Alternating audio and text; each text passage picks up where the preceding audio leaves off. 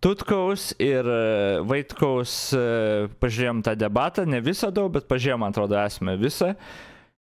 Ir žiūrėsim dabar atsaką, koks buvo į, oi aš pala atsimutinsiu Discordą, pamiršau, atsaką, koks buvo į, į, į, į tuos e, iš lėkstučių, iš kitų ten žmonių į tą debatą. Tikrai pagreitinsiu. Sveiki. Vakar, vakare žiūrėjau laidą Gedrės Gorienės, komentaras TV. kur- kurioje vyko 1,3. debatai Tarp dviejų kandidatų į Lietuvos. 3-5. Nu, ne, gal 1-2-5 poch, 1-2-5 su jais.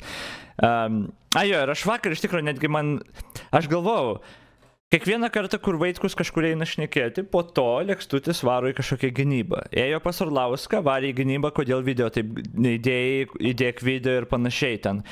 Kiekvieną kartą vis kažkas atsitinka, kad ten reikia ginti. Ir Vėlgi, čia aš nežinau kaip ir iš tikrųjų, aš nežinau, kas šito žmogaus galvoje yra, bet mano spėjimas būtų, kad e, Lekstutis, nežinau, jis... Arba Lekstutis yra iš tikrųjų tiesiog tūpas, žiauriai tūpas. Ir jis iki tokio lygio tūpas, kad nesupranta, kad tūpas. Bet abejoju. Man atrodo, jis supranta, kad jis tūpas, man atrodo, jis, tai yra nėra tūpas, jis supranta, ką daro, aš tą norėjau sakyti. Man atrodo, jis griftina savo žiūrovus ir tą labai, nu, gan, gan supranta, ką daro, tipo. Uh, Nes tūpas žmogus, man atrodo, būtų atėjęs pas mane šnekėti. Jau plokščia žemės, ten vatnikas koks nors, jis būtų atėjęs pas mane šnekėti, nes tupiem žmonėm, nu, jie nesuprant, kai jie tupi yra. Man lėkstus labai sąmoningai neėjo su manim šnekėti ir man atrodo, tas akivaizdu turėtų būti. Gerai, kaip be būtų, man atrodo, Vaitkus jam yra labai palankus, Vaitkus kartoja lėkstų, nu, kaip kelertas, koks man Vaitkus užneša į lėkstučio šunį tiesiog. Kaip pasakysi, taip jis darys. Ir Vaitkus vakar, kai žiūrėjom tam debatę prieš Tutkų, negalėjo sakinio normalaus sureksti. Jis negali savo pozicijos pasakyti, jis negali jokį klausimą atsakyti. Kiekvienas jo klausim, atsakymas litanija ad hominemų, tada nukrypimai, tada kažkokie keisti sujungimai teiginių ir net neaišku, apie ką jis kalba vietom. Ten žmogus plaukiojantis. Tiesiog plaukiojantis visiškai. Tai aš nežinau, man atrodo, Lekstutis tiesiog labai jau jį stumė dėl to, kad jis yra labai toksai, nu, vieno procento tas vienas procentas, jis aišku negali laimėti, aišku, ten greičiausiai net nebus su parašais surinktų, aš nežinau, sunku pasakyti, kodėl tą vaikų taip stumti ir panašiai. Arba tiesiog čia kontento kūrimas. Kad jisai kaip, nu, kaip youtuberis, kaip kontento kuriejas turi savo kandidatą į prezidentus, kurį gali stumti, tą gali naratyvą stumti, kad žiūrėk, kad niekas e, jo neviešina, žiniasklaidai engia, nes jis nepatogus sistemai, vis tie dalykai. Bet kaip bebūtų, visą tą pasakius, man įdomu, kaip jie mėgins dabar spininti, kad Vaitkus iš tikrųjų gerai pasirodė, ar kodėl jis blogai pasirodė. Nes aš neįsivaizduoju, kokia gali būti priežastis. Pavargęs buvo, neišsimegojęs. E, Gorienė laidą kažkaip blogai vedė, ar šališka Tutkui buvo, nes Tutkus ten, man atrodo, nu, daug kartų yra pas jos laidoje buvęs ir labiau Gorienės, e, kaip, kaip jis yra draugas, nu, toj pusėje. O Lekstutis su Vaitkum, jie niekieno draugai iš esmės, nu, bent jau Lekstutis, egės. Tai aš nežinau, ką, kaip jie gali mėginti Vaitkų Vaitkaus šitą pasirodymą kažkaip pateisinti. Aš neįsivaizduoju. Tai man labai smalsu, kaip jie spinins tą, kaip jie mėgins iš viso. Nes Vaitkus pasirodė tragiškai. Dabar Tutkus tragiškas kandidatas. Bet jis daug geriau pasirodė už Vaitkų. Nes prie Vaitkaus, nežinau, mano ten... Nuėjęs į mokyklą penktokas geriau pasirodė už Vaitkų. Nu, tipo, o Jezu. Um, okei, okay, paklausom. Publikos prezidentus, tai yra Valdo Tutkaus ir Eduardo Nu. Vaitkaus. A, pastebėjimai. Mm. Gorienė laidą vedė neblogai, akių labai nedraskė Eduardui Kaip? Vaitkui, jeigu lygint su Janotinės laida, tai jinai labai vykusi. Janotinė tai kaip išprotėjusi, puolė. Pritariu, Gorienė gan gerai ir- ir pasirodė, svarbiausia, pravedė iš esmės, kiek, Jinai žiūrėjom. Susimovė, susidirbo ir po to pasikvietė dar kitoje laidoje Butkevičių apkalbėti Eduardą e, ir, ir, ir, ir jie tiesiog pylė purvą ant jo. Aišku, pas Gorienė to nėra. Jinai šitoje vietoje yra padoresnė, ne? Aišku, e, Valdui Tutkui buvo duota daugiau eterio, daugiau, daugiau erdvės išsikalbėti, išsipasakoti, bet e, ką aš pastebėjau, kad Valdas Tutkus atkartoja Eduardą Vaitkų, vagė nuo jo mintis. Ir kas svarbiausia, kad e, Valdas Tutkus yra melagis. Jis yra toks, vat, grinai, grinų, griniausias yra melagis ir matosi, kad žmogus neturi moralinių vertybių, neturi sąžinės, neturi A, ok. Tai mes neginsim Vaitkaus, o mėginsim pažeminti ir diskredituoti tutkų. Au, aš nepagalvoju apie šitą. Tai aišku. Tai aišku. Tai aišku, ką mes darysim. Kodėl kiekvieną kartą, kai lėkstučiai ir panašiai žiūrovai ateina ir mano YouTube komentarus rašo apie mane kalbą. Niekas neparašo, kad karalius klysta dėl to ir to, man niekada neparašo, tu klysti dėl to ir to ir todėl. Tu duhas, tu minedas, tu debilas, tu sisteminis, tu tapinozoidas. Nes jis, jie mokosi iš lėkstučio. Ką reikia daryti? Stumti ir diskredituoti. Jis neturi vertybių, jis blogas ir melagis. Yeah. Gal kažką dar ir pasakys konkrečiai, nes ilgas video. Ir tai, kad eterio davė daugiau tutkų reikštis, aš net nežinau, kas ilgiau šnekėjo, man atrodo, Vaitkus daugiau šnekėjo atsakymus. Nes Vaitkus ten, kai užsiplė, iš, užsivesdavo ir Golienė nestabdydavo, jin davė šnekėti, kas kiek nori, Vaitkus šnekėjo, kiek nori. Ten aš net vakar tą pasakiau, kad įdomu, kaip kai jiems duoda tiesiog šnekėti, kiek tik jie nori, nestabdo nieko. Tai čia iš karto absurdas. Turi dorovės, pas jį yra begalinis noras patekti prie lovę, kur jis ir buvo ilgą laiką, ir ten buvo jam gera, šilta ir patogu. Taigi, Kurioje vietoje melagis, ne? Pavadinau žmogų melagiu. Nu, tai davai, pasiklausom. Nu, negalima paimti tiesiog kaip pasienutė nepasakyti, kai Butkevičius sako, kad Eduardas yra vingalvis, Tuom ir pabaigta, ne? Butkevičius tai gali sauliais pasijanutinę laidoje. Jeigu aš pasakiau, kad Tutkus yra melagis, aš turėčiau jums įrodyti, ne? Taigi, mėlyjeji. Ir dar be vertybių ir viską. Įrodymą, kaip Tutkus deklaravo, kad jis yra pronatietiškas, proeuropietiškas. Po to, po, kurių, po, po kelių mėnesių aš jį pasigavau nekilnojamo turto mitingę, kai vyko Vilniui, dar kartą jis patikrino, kad yra pronatietiškas, proeuropietiškas, o pažiūrėkit, kaip jis elgesi debatuose. Uh, su Vaitkum ir kaip jis jau pakeitė poziciją. Taigi, prašom, pažiūrėkite trumpą iškarpą prieš tai, kaip jis kalbėjo ir kaip jis jau kalbėjo per debatus. Aš kai buvau pronatietiškas, taip ir lieku. Kai buvau pro už Europą. Persinsiu šitą vietą sąjungą. Taip ir lieku. Ir aš e, labai atsiprašau tų kurie kitaip galvoja. Nu tai jūsų teisė ten nato iš lietuvos ten arba šitą tai nepatinka nato tai čiuožkit patys. Nu bet tai čia jau jūsų pasirinkimas. Galit nečiuožt galit kovot už tai. Aš turiu savo poziciją ir aš jas e, kaip galiu bandau atstovaut ir e, priklausomai nuo mados jų nekaitalioju. Priklausomai nuo mados jų nekaitalioju. Priklausomai nuo mados jų nekaitalioju. Okay. Ir turbūt esminis e, klausimas yra, tai ir, ir komentatoriai ten verda, kad sako, e, reiškia, e, Tutkus yra už NATO, o Vaitkus yra prieš NATO ir kad čia yra esminis skirtumas. Tai va dabar tada prašau, tai kaip čia už NATO, prieš NATO, įsiaiškinkit. Prašau, generolai. Tai ačiū, Gedrė, ir tikrai dėkui už klausimą. Šiaip aš su profesoriu mes bendraujam dažnai, reiškia, ir aš taip supratau, kad jis irgi nėra taip jau visai prieš tą, tą, tą NATO, bet, bet matomai, reiškia, gal už profesorių nekalbėsiu, jisai pažino. Žiūrėkit, aš nei už NATO, nei prieš NATO, jeigu tai apie tai kalbam. Žiūrėkit, aš nei už NATO, NATO, nei prieš NATO, jeigu tai apie tai kalbam. Žiūrėkit, aš nei už NATO, nei prieš NATO, jeigu tai apie tai kalbam. Why? Na ką, matot, jis kaip toks kaip kaimo didžėjus šokiuose virš 50, kaip sakant, kaitalioja. Pala, bet ten atsakymas pilnas ir buvo. Aš nei už NATO, nei prieš NATO, aš už Lietuvą. Lietuvos maždaug interesuose ir žmonės nori būti NATO. Tai techniškai jis už NATO, jis paskui ten ir taip ir atsakė. Ne taip buvo? Taip buvo. Ir jis tada maždaug pasakojo, kad, nu, tu pasakojo, ten tris davė prieštis, e, kada būtų už neutralitetą, ir, bet mes dabar, tipo, netitinkam nei vienos tos priežasties. O kai paklausė tas, vat, NATO, NATO iš čia dabar nukirpo, bet sako, aš nei už tą, nei už tą. Kaip ir lėkštutis sakydavo, ar tu ten už Rusiją, ar už Lietuvą, ar už Ukrainą, sako, aš nei už, nei už Ukrainą, nei už Rusiją, aš už Lietuvą. Aš netgi komentavau. O tai lėkštutis čia tiesiog taip nukirpo vietą ir dabar pisprota. Oh no, tai dar ir šitaip.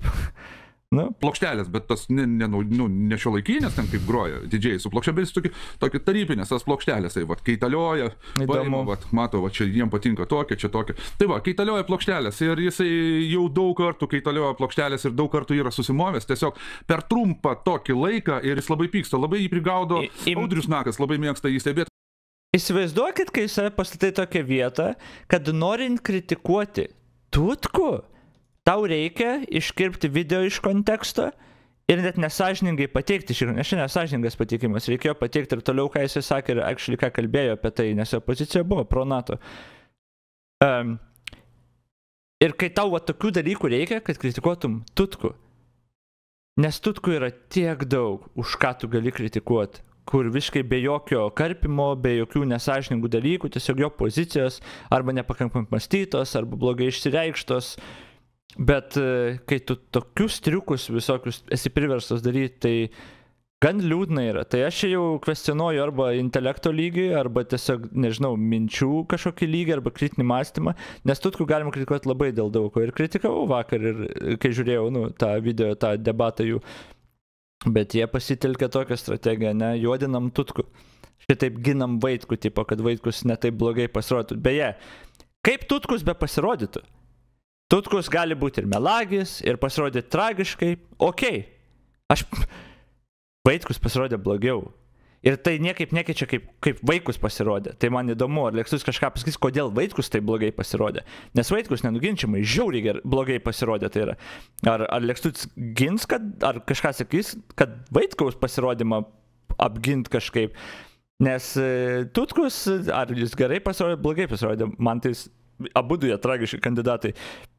Bet jo įdomu, ar, ar jie čia maždaug eina taip, kad, oi, Vaitkus fantastiškai pasirodė, ir net apie jį nekalbėsim ir juodinam kitą kandidatą, nes nežinau, čia biškai tragiška tokia kritika, kai toliau ką. Aš tiesiog e, dėl laiko trūkumo neturiu tiek e, labai atidžiai stebėti, kiek jis ten yra, kiek prisiklėdėjęs, bet Audrius Nakas, jis ko puikiausiai prigaudo, prikarpo ir jis labai pyksta, jis sako, kad ekspertai apšika nuo galvos iki kojų. Ne apšika, jis pats save apsišiko, tiesiog ekspertai iškerpa ir dar kartą parodo, užakcentuoja žmonėm, kurie taip pat žmonės galbūt nepastebi. Taip kaip jis ir sakė, kiek jau ten šešis metus ar kiek tai nevartoja alkoholio, nors prieš tai ten buvo pagautas girtas už vairo. Nerodė laiko, man tai atrodo, per video kopelis iš jo pusės. Nu, tai, tai, tai va, žmogus Jo, toks. jis Jis yra toks. Va, toks yra žmogus.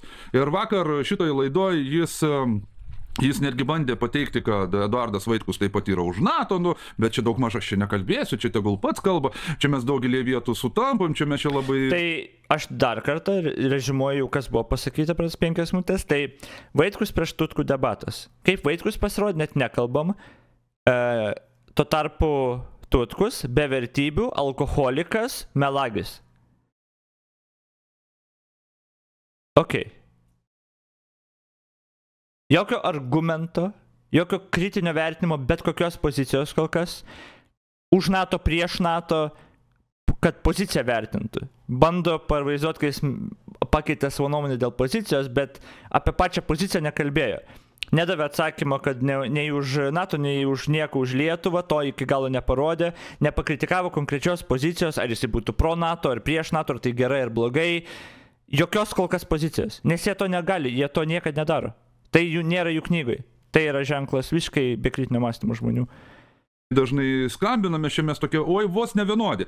Na, Eduardas Vaitkus ir Valdas Tutkus e, lygybės ženklą dėti čia būtų absurdas, absoliutiškai, absoliutiškas absurdas. Tai yra žmogus, kuris keičia nuomonės, visiškai keičia nuomonės, per labai trumpą laiką pakeitęs daug kartų ir daugelį vietų yra nuomonė. Tai yra, reiškia, bestuburis, neturintis savo, savo griežtos nuomonės.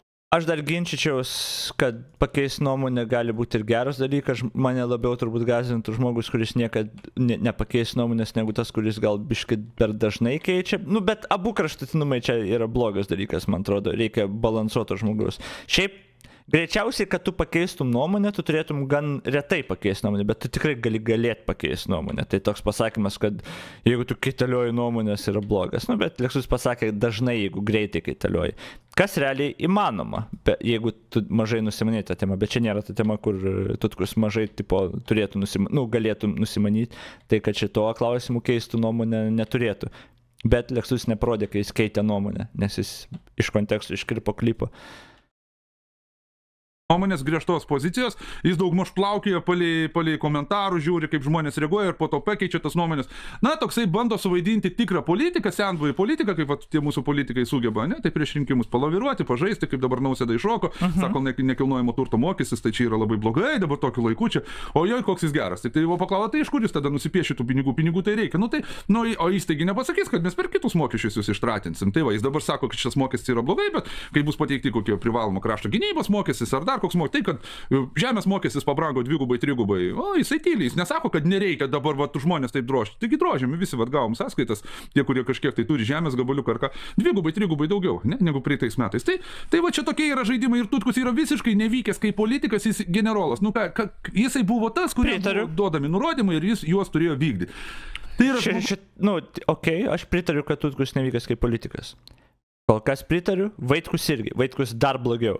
Kol kas apie Vaitkų nežodžio, apie kodėl Vaitkus taip prastai pasirodė nežodžio, kodėl jo tokie blogi atsakymai buvo nežodžio. Kol kas tik duhinam Tutku ir stumim ant Tutkaus kaip žmogaus, kaip visko, bet nei vienos, nieko kol kas, jokio konkretaus įvardymo. Ką jis blogai pasakė, kokia jo vertybė ta buvo bloga, ar jo pozicija kokia bloga buvo ir kodėl, nieko, jokio kritinio vertimo kol kas nelašo. Bus, kuris vykdo ir neužduodamas klausimų tiesiog aklai vykdo. Važiuoji ten misiją, darai tą ir tą ir viskas. Va, už tai gauni ir viskas. O čia šitoj vietoj, kad jis pats galėtų vadovauti, priiminėti sprendimus su tokia politika prezidento, kuris kaitalioja nuomonės, ten vos ne kas mėnesį, kas kažkiek tai laiko, nu tai, nu tai kaip, jeigu prieš rinkimus, va, jis priešinko tokių nesąmonių, o tai ką jis veiks atėjęs, jeigu jį išrinktų, aišku, ten šansų visiškai nėra, jis dabar bando rasti savo nišą, ale tarp, tarp ir, ir bando įtikti rusofobams, bando įtikti, bet jau rusofobai jau jis ten kart, vieną kitą kartą leptelėjo, prisišnekėjo, Janu ten nepagavo, parodė, bet iš tikrųjų jisai ir pas Gorienę laidoj kalbėjo, kad NATO yra ten saugumo garantas, jeigu pultų Baltarusija, Rusija, jam vis tiek vaidenasi, kad rusai, baltarusai, plau, nu jisai kaip, va toksai kaip NATO, tas karininkas, jam yra įspraėjęs, tos visus yra, va, norėjau sakyti anglišką, smegenų plovyklas tas praėjęs. Ir jie nesupranta, Tutkus nėra tas žmogus, kuris būtų protingas ir suprastų, kaip veikia visi tie mechanizmai, tai tie programavimai, kada NATO instruktoriai važiuoja, va, ir čia atvažiuoja, ir ten išvyksta stažuotis tie mūsų kareivukai, jaunimas, kaip ten yra, kokio, kokios ten yra technologijos smegenų plovyklos. Ten yra labai aukšto rango iš tikrųjų, labai labai kietai paruoštos ir Ir jam yra tiesiog įprogramuojama į, į pasąmonę, kad yra priešas, rusas ir baltarusas ir viskas. Ir, ir, jis, ir jis pas Gorė net matosi, kad jam prasimuša tas, prasimuša vat rusai. Vis dar laukiu konstruktyvios kritikos. Šiol, kad rusai ir baltarusai mus puls. Bet e, tai, kad mes lojam. Vis dar laukiu kažkokio punkto iš to debato, ką Tutkus pasakė, kokią nors poziciją ir kodėl jin bloga, ar kodėl nepilna atsakymą, kokį davė. To tiesiog nėra ble, kaip man gaila yra, man gaila tiesiog tų žmonių, aš nežinau, žiūrėjau tą vat, prieš tai tą paną, aš nežinau, man tiesiog man gaila tų žmonių. Nes jį žiūri lygiai tokie patys žmonės, kurie tiesiog nežino, ką reiškia konstruktyvi kritika. Nu, tą jie puikiai rodo komentarus rašydami. Tu tiesiog matai, kad, nu, nei vienam ten 30-40 žmonių praėjo po Tutkaus, e, po Nako video, apie 3 plus žmonių aš tiesiog užhaidinau YouTube'ai nei vienas iš jų, jie aišku, ten visi ne mano fanai, nes ten nu, visiškai atėjo dėl to, kad ten heitint mane. Ir nei vienam komentarė, nei vienam, ai, nu gerai, meluoju, vienam buvo, papunkčiui mėgino kažkokia moteris ten parašyti, bet ten gydytoja, man atrodo, kažkokia buvus ir panašiai, tai ten reasonably gerai surašė. Bet ten greičiausiai ne jų publikos žmogus, kaip bebūtų. Bet ne vienas kitas tas žmogus neparašė nieko konstruktyvaus, tik stumimai, taip kaip lėkštutis daro dabar. Ir jie tik to išmoksta. Aigės jie tik tokius žmonės ir žiūri. Tik tokius ir followina. Tokius grinai, kurie lygiai taip pat reaguoja į viską. Tik tai svaro, durnina ir jeigu pritari, tai yra durnina tą žmogų, kuris, nu, tau nepatinka, kur tavo nuomonė sutampa apie tą žmogų, viskas tvarkoj. Niekur nereikia, todėl ir žiūri, todėl ir patinka. Bet jie tiesiog, jie neišmoko, kaip reikia vertinti, jie neišmoko, kas yra kritinis kažkoks konstruktyvi kritika. Jie visiškai to nieko neišmoko. Jie neišmoko, netgi dabar žiūrės lėkštutė ir galvosio teisybę sako, nes stument žmogaus. Ant, bet kaip stument žmogaus? Čia tada, ar ant pačio žmogaus, ar ant jo pozicijų. Ir jie to nesupranta irgi. Aš žinau, man tiesiog jų gaila, nes tai yra visiškas nulinis suvokimas. Ir kaip tu tokį žmogų galėtum, pažiūrėjau, ever edukuoti, ar kažkaip paaiškinti kažką, ar kažkaip ginčytis. Na, aišku, jie verkia, kad su jais niekas nekalba, bet, nu, jie niekada irgi su niekuo nekalba. Nes jie visiškai nepajėgus yra ir man tiesiog gaila. Mokyklose turim, nu dabar va ta nauja programa, aš tikiuosi, kad biškai pamokys vaikų, bet mokyklose turim mokyti. Kas yra iš viso, bent kažkokią struktūrą ginčio, kaip spręs konfliktą.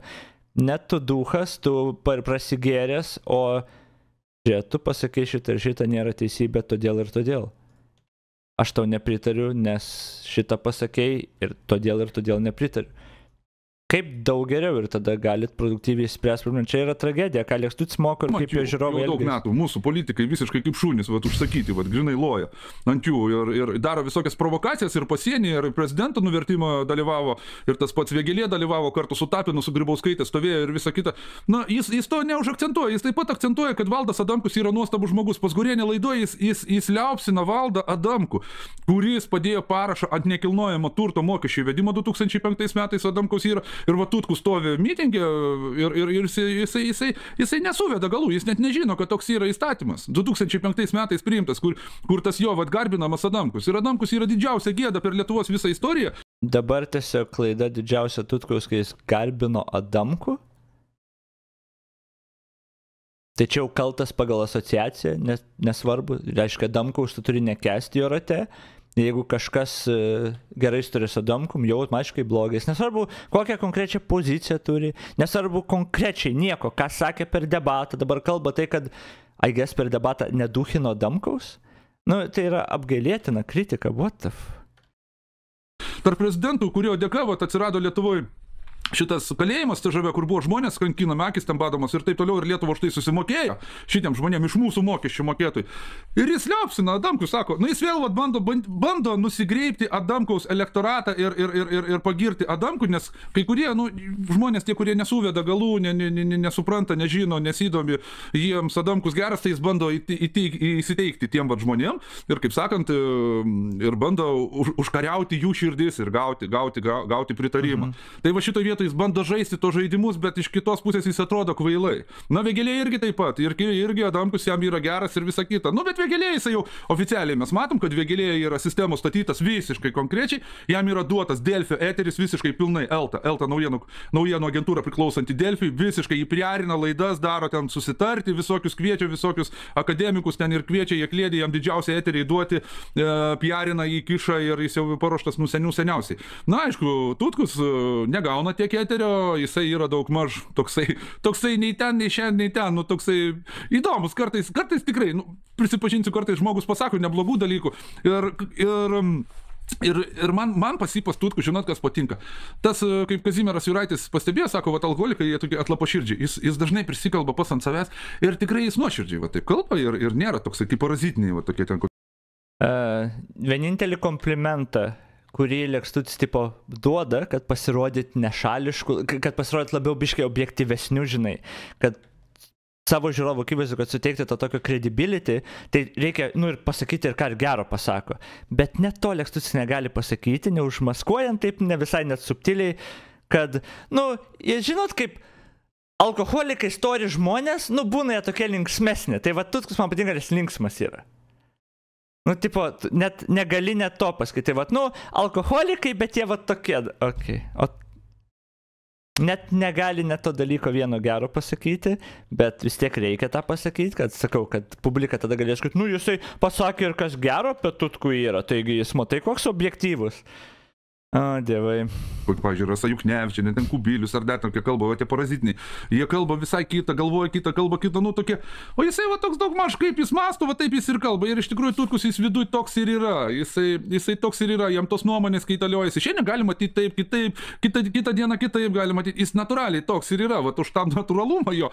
Tai, tai jis man, du smagu jį žiūrėti, iš tikrųjų, tą natūralumą, bet man jis labiau primeta tokiu va studentų kažkokį bendrabutį arba šiaip tokį, kai būna, va tie bendrabučiai viešbučiai, kur žmonės ten gyvena, bendros virtuvės, kažkoks, vat, man jisai Jau žiūrim 12 minučių beveik ir praškai 8 procentų eterio tiesiog apibūdinti tutkų. O tai ir vadinasi nekonstruktyvi kritika, kur tu neatakuoji ne žmogaus pozicijas, o žmogų. Nes apibūdina jį. Panašus į studentą, į prasigėrusi tokį, kur visą laiką sako, kaipgi yra keičia nuomonės, jis labai dažnai toks. Jį. Ap, tai yra visi apibūdinimai apie žmogų. Ne apie jo pozicijas, o apie, apie žmogų. Jie tik tą daro. Kodėl? Jie turi nesuprast, kad tai nėra gerai. Jie tiesiog nesupranta, kas yra konstruktyvi kritika. Ma, man yra visiškai neįtikėtina. Visiškai viskas tai yra apie žmogų. Nu ir tada sakau, aš ir skaitau visiškai viskai, e, viską apie mane. Gėjus, tu gėjus, tu žydas, tu toks, tu žydras, tu taip atrodai, tu taip elgies, tu taip. Man nepatinka, kaip tu kalbi, tu per daug anglicizmų kartuoji, bet nei vieną kartą apie poziciją. Amazing. Tai labiau prie to stalo, vat, bendroji virtuvė, tokia bendrabutį, kur nors pabendrauti, pašnekėti, pasikeikti, kaip sakant, nu... Mm, yeah, gerai. nu, nu, nu, ar mes galėtume turėti tokį prezidentą, nu patys savo išsiduokit. Ir man, sakau, yra keista, kad Burienės visą šitą grupelė ten Vytautas Mikalauskas, nu, nu tiesiog, nu, nu, visi jau ten plaka į ir, ir, ir, ir Palovičių. ten, Tiesiog kad stumia ten kitų liaupsina tą- dabar nu, žmonių nieko, dabar yra. šauksit, Nu, tai lygi vieta, nu yra. Ir žmonės jau rašo komentaruose ir tam, žiūri, ten Vytautas Mikalauskas, kai pasidalina apie Tutkų, tai ten jį užsipuola, jūs pasižiūrėkit, na jau rodo faktus, kurioje vietoje ten susimovė tas Tutkus ir ten, ir ten, ir ten, ir ten, ir ten. Ir keista, kad e, toks... Tu galėjai juos Mikalauskas parodyt, bet nemato tų dalykų ir taip aklai, fanatiškai, kažkaip toks kaip ir susitarimas, atrodo kaip ir liepta būtų iš viršaus, tiesiog vat palaiko tą ir viskas. Nu, negi žmonės nemato logiškai, nu, kad tai žmogus klėdė ir labai, labai daugelį vietų klysta, susimauna ir meluoja. Bent vieną parodyk. Nu, Bet čia yra labai dažnai naudojama strategija, kurią tu gali daryti, kai nekalbi viešai, ar, nu, nekalbi su kitu žmogum, kuris nors penkis IQ turi. Tu gali sakyti, o jisai pastovi meluoja. Kaip ir man sako, karaliu, tu pastovi nusišneki, sakydavo, bent jau meluoji. Ir tada tie žmonės ateina konkrečiai vardink. Uh, ir viskas. Ir baigės. Ir nebėra. Ir, ir lygiai tą patį, todėl aš ir noriu su jais kalbėti balsu, kur tu ne, nepraleisi tokių dalykų. E, Jis pastoviai meluoja, jis nenusimano, arba kai man ta kritika sako, tu nenusimanai, pasidomėk daugiau, ką konkrečiai. Ir nepaleidi, ir verti jį įvardinti, ir tada pradė apie tą šnekėti konkrečią kažkokią temą, jeigu įvardins. Bet jie niekada to nepadaro irgi, nes kam? Kai publika nekvestionuoja, kai jo publika tokia tupa, kad nekvestionuoja to. Dešimt minučių stumėm tiesiog ant žmogaus, ant jo išvaizdos, ant bet ko, ant tiesiog ant žmogaus, ant bet ko varai. Nu gal ne ant išvaizdos stumė, čia labiau jis atrodo prasi, a, prasigėręs jam ten, nesvarbu. Bet tipo ant žmogaus varai. Ne ant to, kas sakė, ne ant jo konkrečios pozicijos ar kodėl, ant- žmogaus jau varai. Tada sakai, kad jis pastoviai klysta, kažkas kitkas gerai surašė, kur ir kodėl klydo, bet nieko konkrečiai neįvardinai. Neparodė, kur ten kas surašė, ką ir kur konkrečiai buvo įvardinta kas, tiesiog pasakai, kad buvo. ir viskas. Ir tai praeina kaip tipo, o jo teisybė sako kritika.